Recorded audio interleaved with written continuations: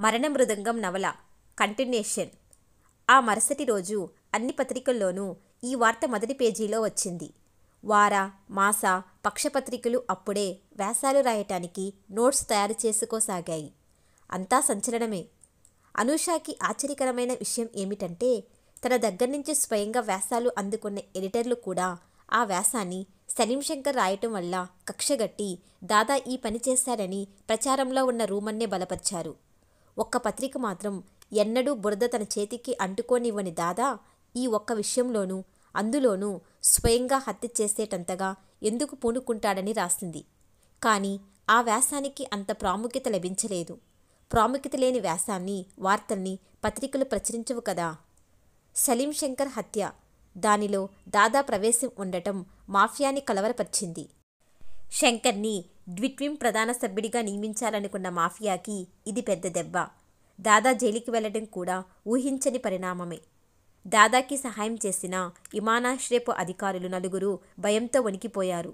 ఎవరూ ఏమీ మాట్లాడలేదు. దాదా అక్కడికి అలా ఎలా వచ్చాడన్నది మిగతా అందరికీ అర్థం కాని ప్రశ్నగానే ఉండిపోయింది. దాదాకి గోడౌన్ తలుపు తాళం తీసి సహాయం చేసిన ఆఫీసర్ మాత్రం ఈ సంఘటన జరిగిన ఒక గంటకి ఎప్పటికైనా తన విషయం బయటపడుతుందేమోనన్న భయంతో ఆత్మహత్య చేసుకున్నాడు. సలీం శంకర్ హత్యతో విమానాల పోకడ గంట ఆలస్యం అయ్యింది. ఈ లోపల ఎవరో ఆగంతుకుడు ఫోన్ చేసి జపాన్ వెళ్ళే విమానంలో బాంబు ఉందన్న వార్త అందించడంతో ఆ విమానం మరో గంట ఆలస్యం అయ్యింది. అయితే మిగతా అన్ని ఫోన్స్లా కాకుండా ఈ సమాచారం నిజమై విమానంలో బాంబు దొరికింది. ఇది టెర్రరిస్టుల చర్య అనుకున్నారు అందరూ. దాదా అరెస్టు కాగానే నలుగురు అధికారులు భయంతో వణికిపోయిన మాట నిజమే కానీ అందులో ఒకరికి ఏ మూలో కాస్త మానవత్వం ధైర్యం మిగిలి ఉన్నాయి. ఆగంతికుడి పేరు మీద ఫోన్ చేసి బాంబు సంగతి చెప్పింది అతడే. వసంత దాదాని అరెస్టు చేసిన రోజు సాయంత్రం జానీ బిల్లు అనూషాలు విమానంలో తిరిగి వచ్చేశారు. తలిపేసయ్యనా అని అడిగాడు జానీ. అన్యమనస్కంగా ఉన్న అనూష అర్థం కాక ఏమిటి అంది. తలిపేసేయగానే నువ్వు నా కాళ్ళ మీదకు వంగి నన్ను క్షమించండి. మిమ్మల్ని అర్థం చేసుకోనలేకపోయాను అంటావు. నేను నీ భుజాలు పట్టి పైకెత్తి అంత మాటనకు అనూష అంటూ మంచం దగ్గరికి తీసుకువెళ్తానన్నమాట. అన్నాడు చివరి నుంచి ఐదో మాట ఒత్తి పలుకుతూ. షటప్ అంది అనూష కోపంగా. అంతలో తలుపు దగ్గర చప్పుడయింది. లోపలికి రావచ్చా? ఇద్దరు చప్పున అటు చూశారు. సిబిఐ ఆఫీసర్ సుగ్రీవ్ గుమ్మానికి ఆనుకుని నిలబడి ఉన్నాడు. అనూష నిశ్చేష్టురాలయ్యింది ఆ క్షణం ఆమె అతన్ని అక్కడ ఊహించలేదు. పొద్దున్నే బొంబాయిలో అతన్ని చూసింది. ఇప్పుడు తమతో పాటు ఇక్కడ. తమలాగే వేగంగా. ఆమె ఎందుకో భయపడింది. ఏదో జరగబోతుంది. ఏదో. ఏమిటి? అలా శిలాప్రతిమిలా ఉండిపోయారు? సుగ్రీవ్ అడిగాడు. ఇక్కడికి మీరెప్పుడొచ్చారు? అంది విస్మయం నుంచి తేరుకోకుండా. ఎంత నొక్కి పెట్టినా ఆమె మొహంలో రాబోయే ప్రమాదాన్ని సూచించే భావం తొంగి చూస్తూనే ఉంది. మీరొచ్చిన విమానంలోనే అని జానీ వైపు తిరిగి జానీ నీతో కొద్దిగా మాట్లాడాలి అన్నాడు. ఇద్దరు వేరో గదిలోకి వెళ్ళారు అనూష ఒక్కతే మిగిలింది. ఆమె గుండె వేగంగా కొట్టుకుంటుంది. ఇతడు జానీని ఏం ప్రశ్నిస్తాడు? అంతా అయిపోయిందనుకున్న తర్వాత ఇతడు రావటం ఆమెలో అనుమానాన్ని రేకెత్తిస్తుంది. సుగ్రీ మొహం చూస్తే పైకి కనపడే దానికన్నా ఎన్నో రెట్లు తెలివైన వాడిలా కనపడుతున్నాడు. ఐదు నిమిషాలు భారంగా గడిచాయి. జానీ బయటికి వచ్చాడు. నిన్ను పిలుస్తున్నాడు అన్నాడు క్లుప్తంగా.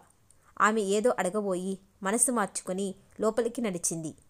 సుగ్రీవ్ ఆమెను చూసి పలకరింపుగా నవ్వాడు. ఆమె నవ్వలేదు. కూర్చోండి మేడం ఆమె కూర్చుంది. అతడు ఉపోద్ఘాతంగా అన్నాడు. వసంతదాదా కేసు ఈ విధంగా మలుపు తిరుగుతుంది అనుకోలేదు మేమెవరం. సలీం శంకర్ పేరు మీద మీరు దాదాకి వ్యతిరేకంగా రాసిన వ్యాసాలు ఈ హత్యకి పగకి కారణం అనుకుంటే కేసు సులభంగా తేలిపోతుంది. కానీ ఆ వ్యాసాలు మీరే రాశారని దాదాకి తెలుసు కదా. శంకర్ని ఎందుకు చంపుతాడు? దాదా శంకర్ని ఎందుకు చంపాడో నాకు తెలియదు. కానీ ప్రపంచం అతడు ఈ వ్యాసాల వల్లే పగపట్టి చంపాడని అనుకుంటుంది. ఆమె మాట్లాడలేదు. ఇక్కడికొచ్చే ముందే వసంత దాదాని కలుసుకున్నాను. తనీ హత్య చేయలేదన్నాడు. లాయర్ని కలుసుకోకుండా ఏ ప్రశ్నకి జవాబు ఇవ్వడానికి అతడు ఇష్టపడడం లేదు. ఆమె సమాధానం ఏమీ చెప్పలేదు.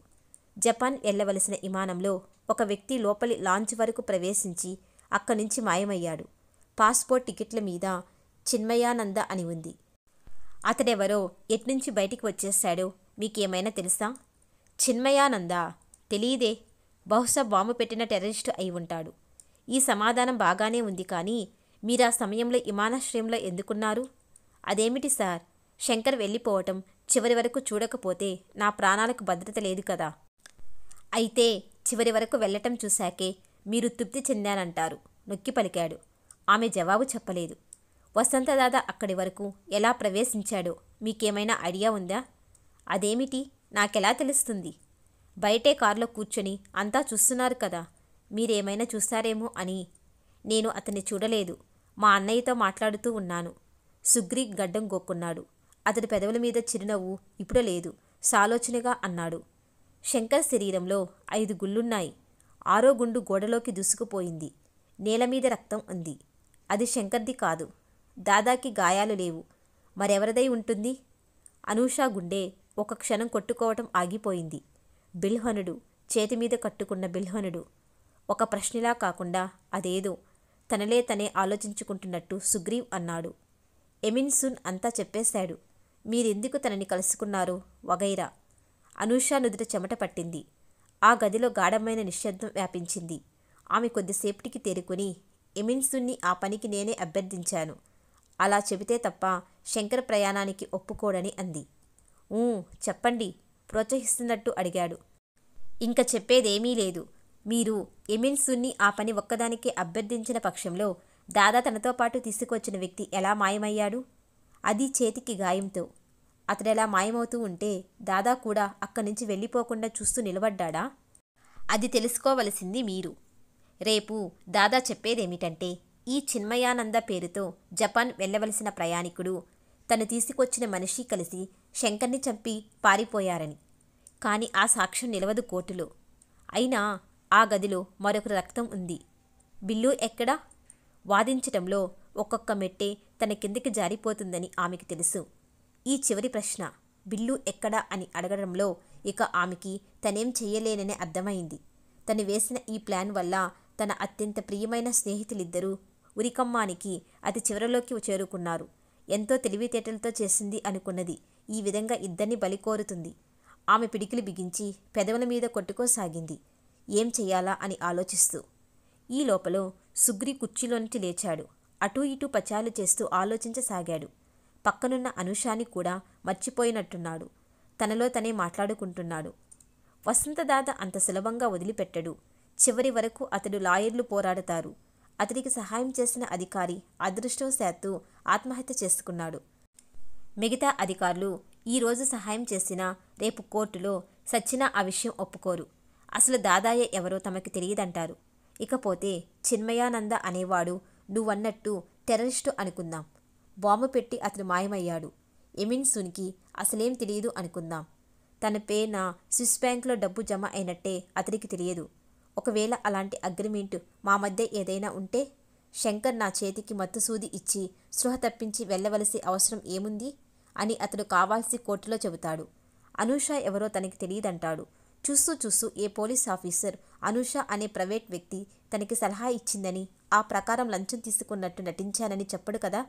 అందులోనూ ఆ ముసలాడికి అతని సామర్థ్యం మీద అతనికి నమ్మకం ఎక్కువ. ఇక నా విషయం నేను వెళ్ళేసరికి అప్పుడే చివరి బుల్లెట్ పేల్చి పిస్తోలు మీద వేలిముద్రలు తెచ్చుకుంటున్నాడు దాదా. గదిలో ఇంకెవరూ లేరు. బయటికి వెళ్ళిన శబ్దం కూడా ఏదీ వినిపించలేదు. అనూష ఇప్పారిన నేత్రాలతో అతన్ని విస్మయంగా చూస్తూ ఉంది. అతనేం మాట్లాడుతున్నాడో ఆమెకు కొద్దిసేపు అర్థం కాలేదు. కట్టిన ఇంటిని దూరంగా నిలబడి చూసుకుని తాపీ మేస్ట్రిలా అతన్ని సమీక్షించుకుంటున్నాడు. మొత్తానికి దాదా మెడ చుట్టూ వల బాగానే బిగించావమ్మాయి. ఈ కేసుని మొదటి నుంచి డీల్ చేస్తున్న నాకు ఏమాత్రం అనుమానం రాకుండా కానీ జానీ పిస్తోలు కాల్చటంతో నీ ప్లాన్ అంతా పాడయింది మళ్ళీ నిశ్శబ్దం. అనూష ఎలాగో శక్తి కూడగట్టుకుని అడిగింది. బిల్లీయే ఆ మనిషిని మీకెవరు చెప్పారు? సుగ్రీవ్ నవ్వాడు. జానీ. ఆమెకి జానీ మీద చాలా కోపం వచ్చింది. తనకున్నపాటి ధైర్యం కూడా లేకుండా ఎవరో పోలీస్ ఆఫీసర్ వచ్చి నాలుగు ప్రశ్నలు అడగగానే అంతా చెప్పేశాడు. ఈ లోపల జానీ లోపలికి వచ్చాడు. రాజా అని అన్నాడు సుగ్రీవ్. నువ్వు చెప్పినదంతా ఈ అమ్మాయికి చెప్పేశాను. నేనేం చెప్పాను? దాదాతో వెళ్ళింది బిల్లు అని. శంకర్ని చంపింది నువ్వేనని. నేనేం చెప్పలేదే? ఇప్పుడు నువ్వే చెప్పావు. అనూష షాక్ తగిలిన దానిలా ఇద్దరి వైపు చూసింది. తన పొరపాటు అర్థమైంది. సుగ్రీవ్ చీకట్లో వేసిన బాణం సరిగ్గా తగిలింది. అతడు కళ్ళతో చూసినట్టే ఒక్క విషయం చెప్పేసరికే తను బుట్టలో పడిపోయింది. చివరి క్షణంలో అంతా నాశనం అయ్యింది. సర్వనాశనం. ఇక జానీని ఎవరు రక్షించగలరు? సుగ్రీవ్ పచారు చేయసాగాడు. అతని నిర్ణయానికి కట్టుబడి ఉండబోతున్నట్టు జానీ మౌనంగా నిలబడి ఉన్నాడు. అనూషాకి ప్రతిక్షణం ఒక యుగంలా టెన్షన్తో గడుస్తుంది. పచార్ల వేగ తీవ్రతను బట్టి సుగ్రీవ్ దీర్ఘమైన ఆలోచనలో ఉన్నాడని అర్థమవుతుంది.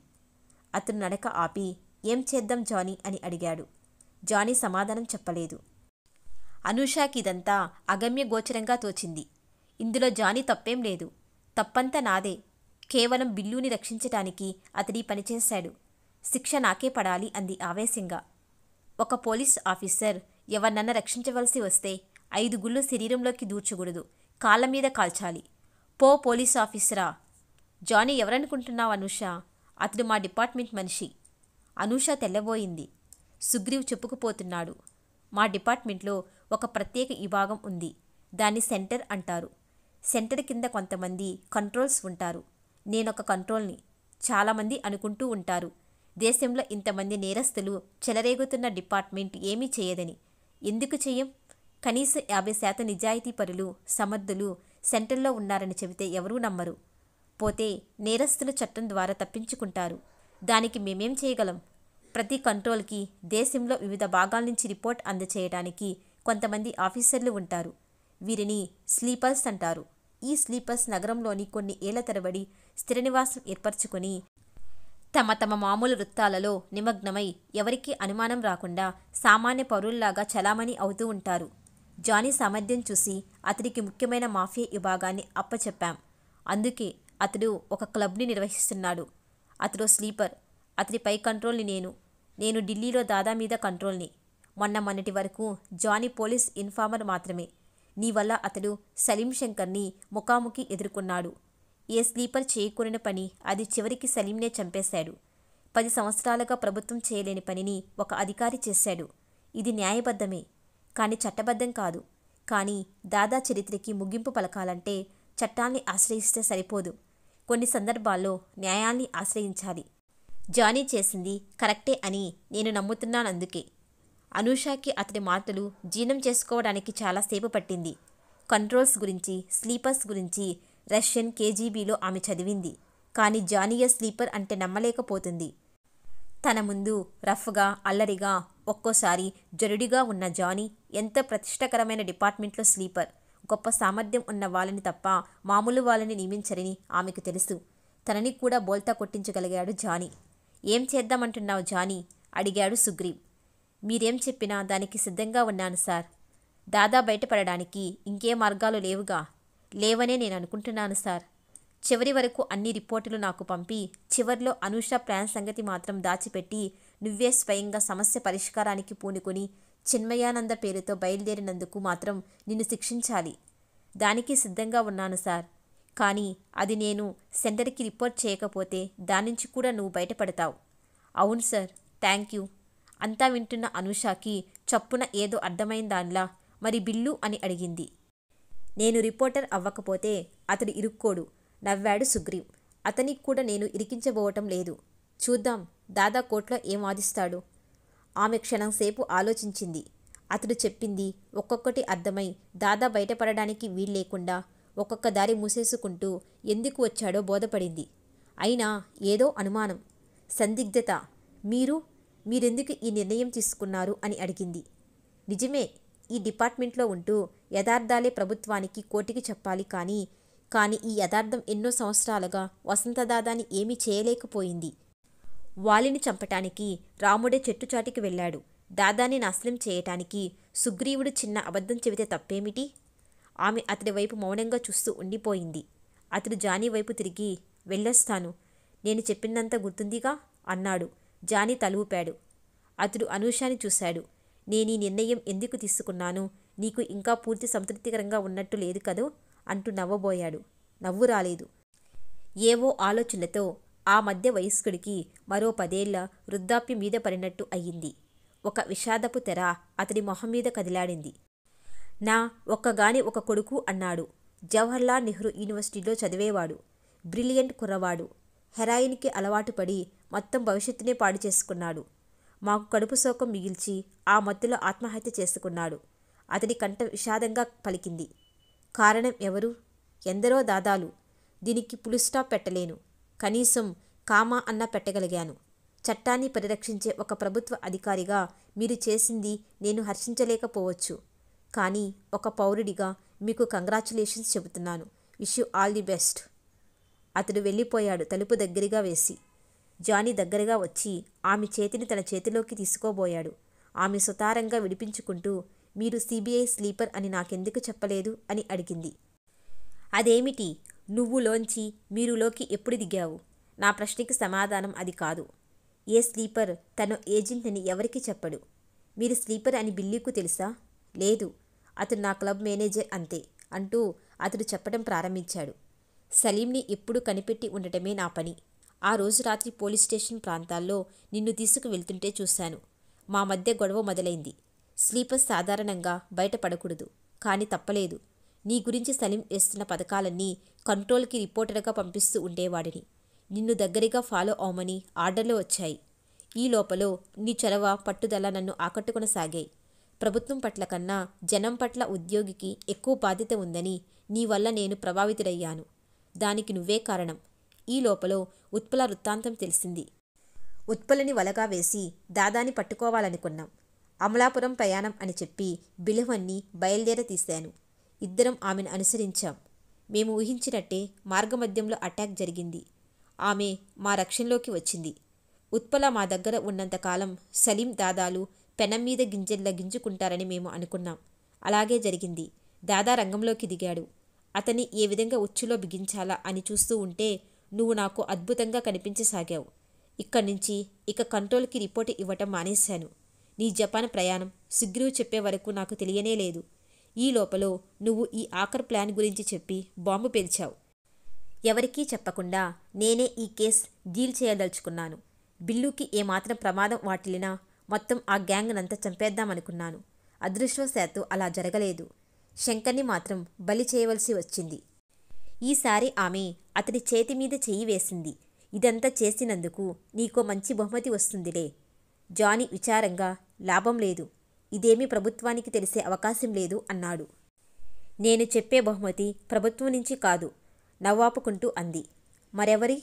అతడి మాటల మధ్యలో ఆప్ చేసి ఆనందంతో కేక పెట్టింది.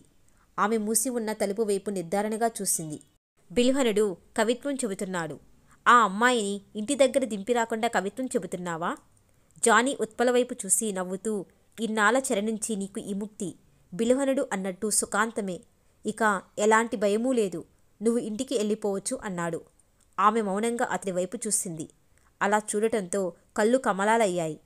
కనుకొలుకులు వర్షపు చుక్కల్ని దాచిపెట్టిన తామరాకులయ్యాయి. ఆమె చెంపని బాధగా నొక్కుకుంది. ఏమిటి ఆలోచిస్తున్నావు? అడిగాడు బిలుహనుడు ఆమె వెంటనే జవాబు ఇవ్వలేదు. ఏ క్షణమైనా ఆమె కనులు వశించేలా ఉన్నాయి. తనని రక్షించడం కోసం కొండ శిఖరాల్లో నిలబడిన ముగ్గురిని వదిలి వెళ్ళటం. మళ్ళీ అప్పుడప్పుడు కలుస్తూ ఉంటావుగా? అడిగింది అనూష. మీ పెళ్ళికి వస్తాను అందామనుకుంది. అంతకన్నా హీనమైన చౌకబారు జవాబు ఇంకొకటి ఉండదనిపించింది. చిన్న కాగితం తీసి జానీకి అందిస్తూ ఆటోగ్రాఫ్ ప్లీజ్ అంది. జానీ దాన్ని అందుకొని ఏం రాయను? నవ్వుతూ అడిగాడు. ఆమె జవాబు చెప్పలేదు. పెన్తో నాలుగు లైన్లు రాసి ఇచ్చాడు.